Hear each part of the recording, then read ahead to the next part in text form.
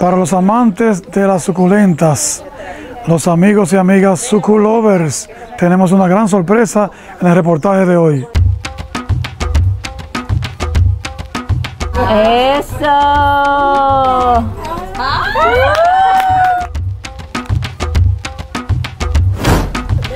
Dijeron que a todas.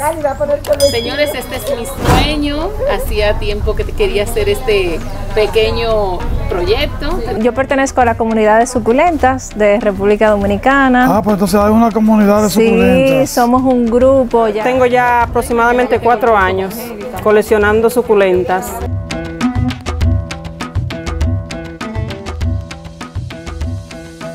Bueno, definitivamente es una experiencia súper, súper diferente porque uno va a un vivero normalmente y tú ves escasas especies. No, aquí hay de todo.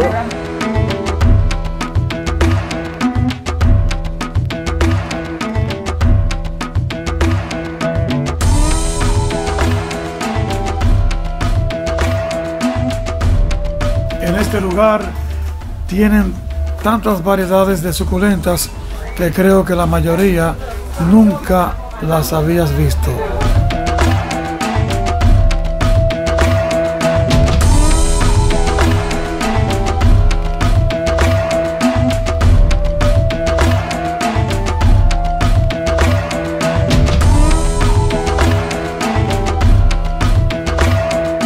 ¿Cómo usted se inició en este tipo de, cultivo de suculentas?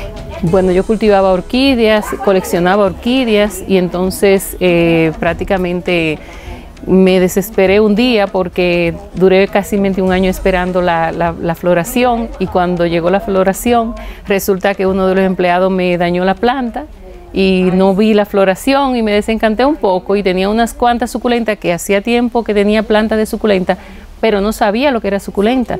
La tenía encima de, perdón, debajo de la mesa donde tenía las orquídeas.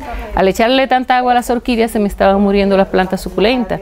Cuando entré a internet para chequear qué le pasaba a la planta, ahí me di cuenta de que de ese mundo que había de, de, de, de suculentas y entonces por eso prácticamente ahí me enamoré de ellas y comencé a, a buscarlas entonces. ¿Cómo se logra mantenerlas todas tan bonitas, tan bellas, estando todas bajo un mismo clima?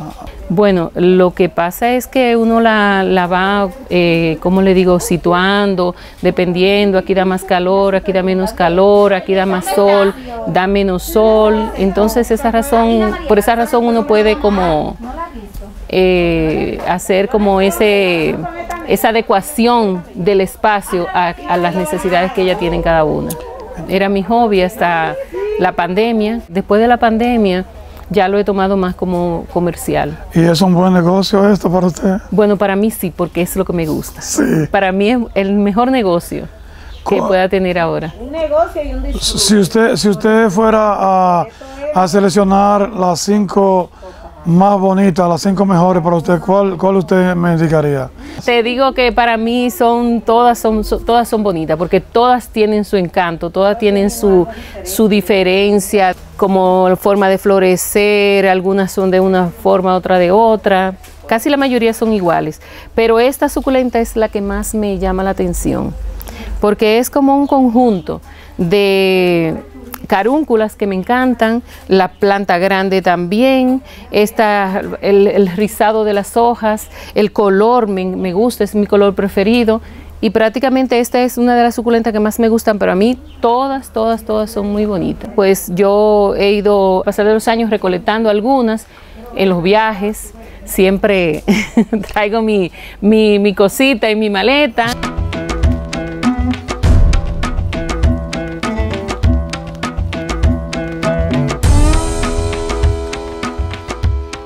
Que es, una, es algo que nos transmite incluso paz, nos ocupa de cosas que no sean directamente con lo que tiene que ver una responsabilidad y quizás esto sea lo divertido.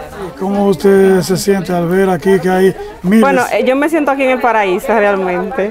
Yo le he creído como que este Es como el Disney World de las suculentas. Así es. Sí, sí. ¿Qué tanto usted recomienda este trabajo? Bueno, 100%. Esto es una terapia para todo tipo de, de- de trastornos de, de la salud mental, porque esto es un relax, abso- absolutamente un relax. Aquí el que viene eh, enfermo sale sano. O sea que cultivar, cultivar este tipo de plantas Es una terapia. hace que la gente se sientan Es una terapia. bien, que todo eso. se relaje, porque son hermosuras que, la- que Dios ha creado para nosotros y, y el solo hecho de cuidarla y verla crecer, verla desarrollarse, es una terapia. Pero no es muy costoso, no es muy costoso para Bueno, no es costoso, es relativamente costoso, porque una suculenta te va a dar muchas suculentas más. Incluso podría ser hasta un emprendimiento para una persona que, quiera eh, tener un negocio. Y siempre nos reunimos, es una comunidad muy bonita porque aparte de compartir sobre el cuidado de las suculentas, cómo abonarlas, cómo regarlas, damos cursos mensuales. Las personas que son miembros de la comunidad también reciben regalos el día de su cumpleaños, descuentos en los suplidores participantes dentro de la comunidad. Se hacen ventas VIP todos los meses, donde un suplidor trae plantas exóticas a buenos precios y ahí disfrutamos todo. Una de las cosas buenas que uno la puede transportar sin el sustrato.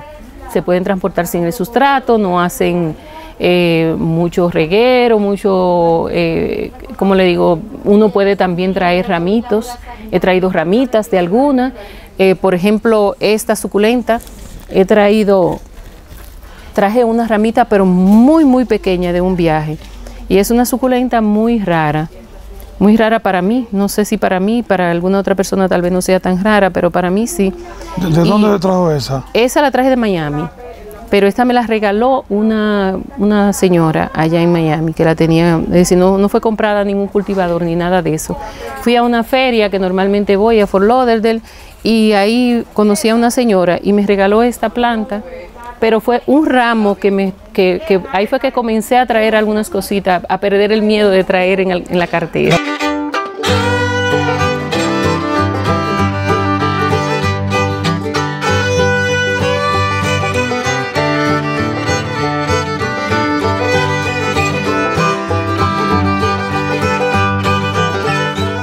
¿Qué siente un amante de las suculentas cuando viene a un lugar como este, donde hay miles y miles diferentes? No, nos sentimos de verdad que súper complacidos, eh, súper maravillados, contentos. Le decimos a doña Magali, yo me quiero venir a mudar aquí. Es una terapia, durante la pandemia sobre todo se explotó el amor, o sea, las personas como que volvieron a conectar otra vez con la naturaleza y tomaron ese amor otra vez hacia las plantas. O sea que es una terapia totalmente relajante. Porque, por ejemplo, hay, hay ciertas, ciertas cosas, ciertas labores culturales que hay que hacer a la suculenta que hacen que uno tenga que estar pendiente de ella cada rato. Entonces lo bonito es que uno va y encuentra una hojita nueva, una cosita nueva y qué sé yo qué. Entonces eso mantiene a uno como, como entretenido. Mantiene, mantiene a uno entretenido. Y no se descuidan las mujeres de sus maridos cuando están, están con este Ah, trabajo. ahí yo no sé. Bueno, No sé, usted Eh. sabe, ahí, ahí no sé, pero deben hacer como si fuera un, Un ¿cómo le balance digo? tiene Un que balance entre una Sí. cosa y la otra, eso es lo que yo les sugiero. Claro, claro. Hagan un balance. ¿hay alguna página, algún lugar en, en la red que pueda la gente entrar y, y enterarse de lo que ustedes Sí, nuestra página es Comunidad de Suculentas RD en Instagram, en Facebook también Comunidad de Suculentas RD y mi página personal donde también cultivo plantas y ventos se llama Echeveria RD.